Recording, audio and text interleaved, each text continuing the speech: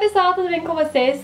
O vídeo de hoje é um vídeo que já me pediram algumas vezes pra fazer e realmente é um vídeo que eu gostaria muito de ter feito há algum tempo só que eu não podia fazer um vídeo de uma coisa que não é verdade, então eu esperei. Então eu esperei pra colocar em prática o que eu vou falar antes de eu falar pra vocês, pra ver se ia dar certo, pra ver se eu ia me adaptar.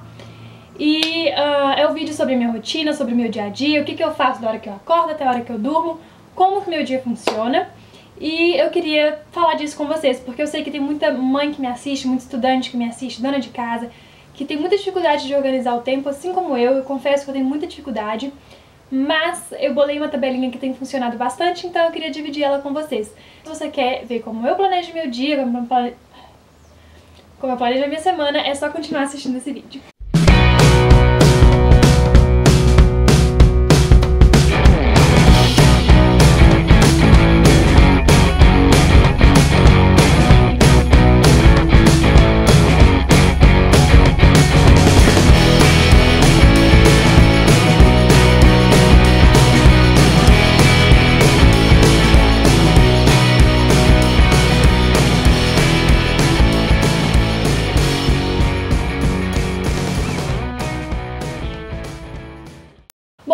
Vou dizer que meu cabelo está numa textura natural, então pode ser que não esteja tão bonito, mas as coisas são como elas são.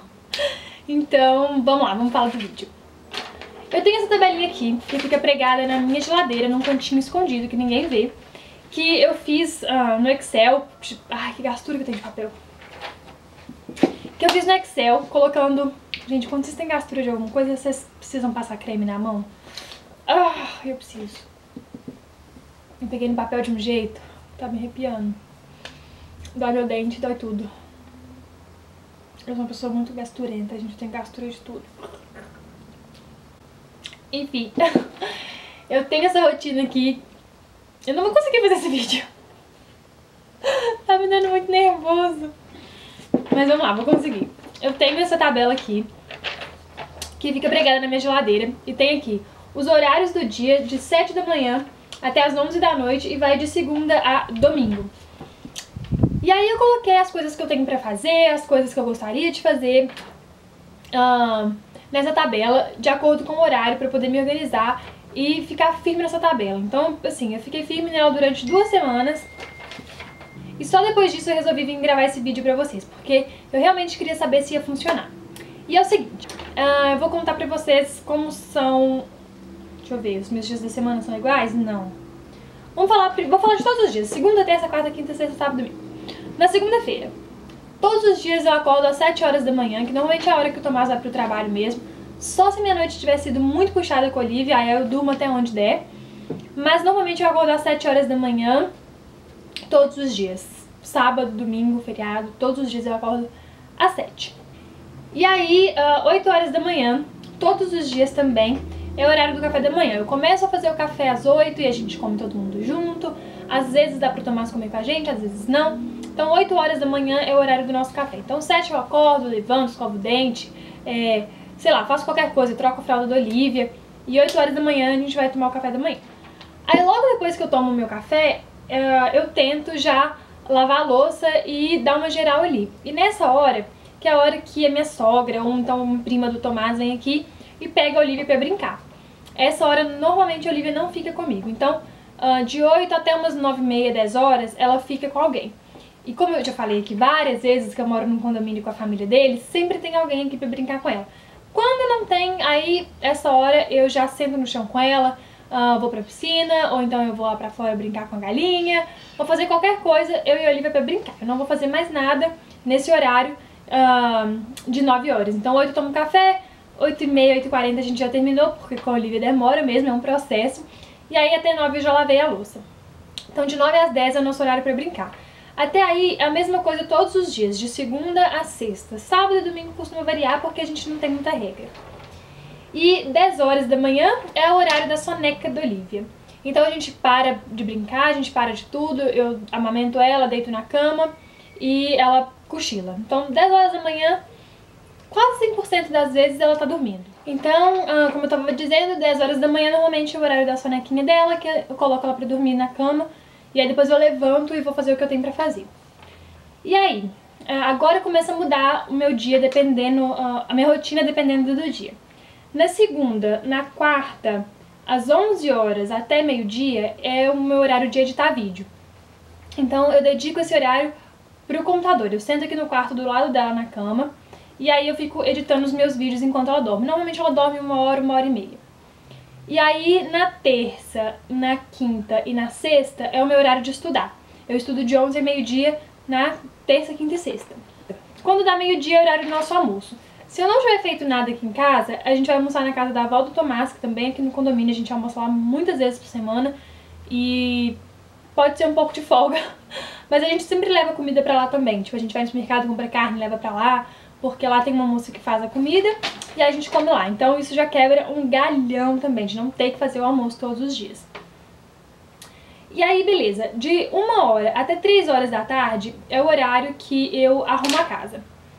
Nesse horário é mais difícil, porque a Olivia quer brincar, a Olivia quer fazer alguma coisa, quer sair, quer brincar lá fora, e eu quero fazer alguma coisa na casa, sabe?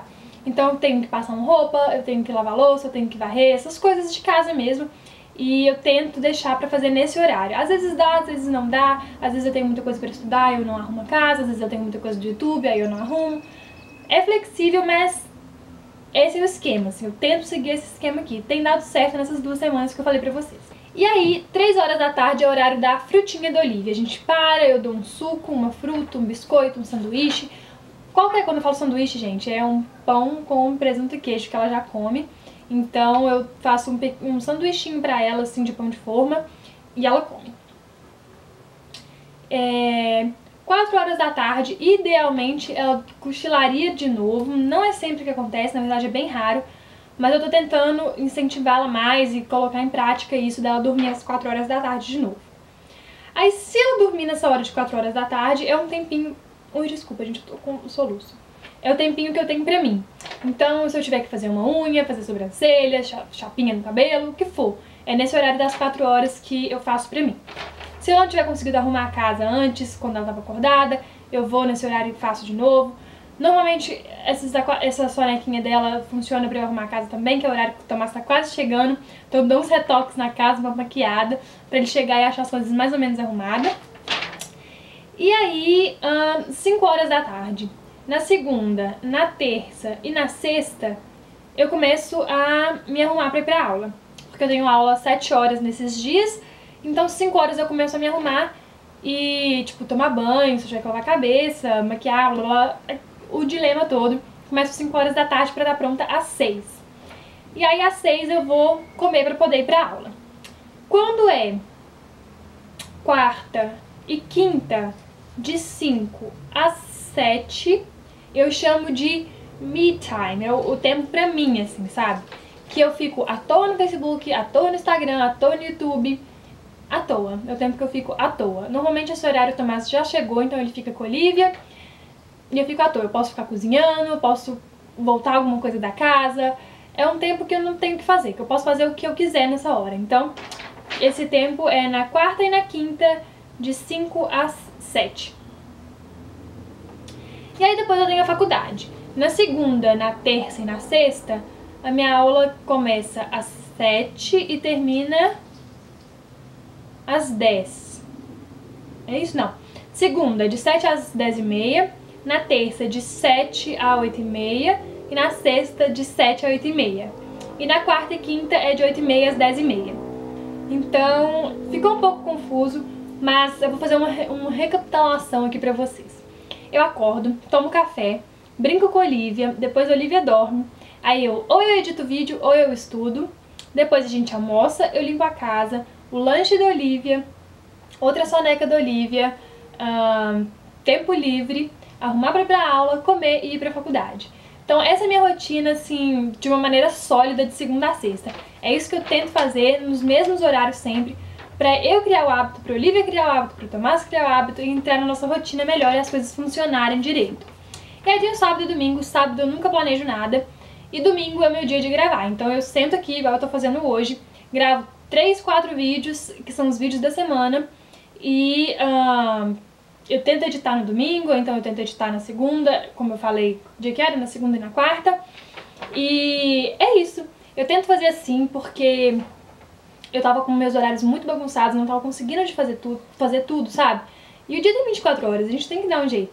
Então eu, eu fiz essa tabelinha, eu não sei se eu consigo colocar o arquivo pra vocês fazerem o download aqui no link.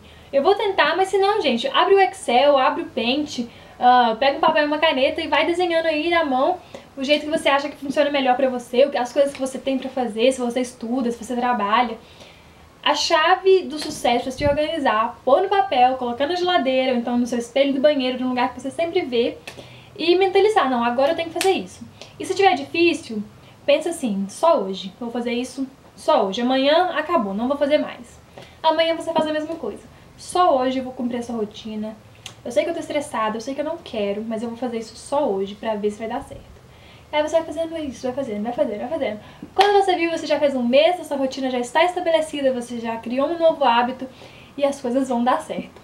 É, ainda tá, eu ainda tô nesse processo de criar o hábito, mas eu queria muito dividir pra você, com vocês, porque eu sei o quanto é difícil de organizar quando a gente tem um filho, quando a gente tem uma casa, ou mesmo quando a gente só tem a faculdade, um trabalho, a gente quer achar tempo pra fazer tudo, mas a gente não consegue, e se desorganiza, e se frustra, e fica revoltada, acha que não dá conta de nada, porque eu sou assim. Vocês já viram que eu sou uma pessoa indecisa, que eu sou uma pessoa que fica desorganizada e isso me ajuda muito, essa questão dos horários.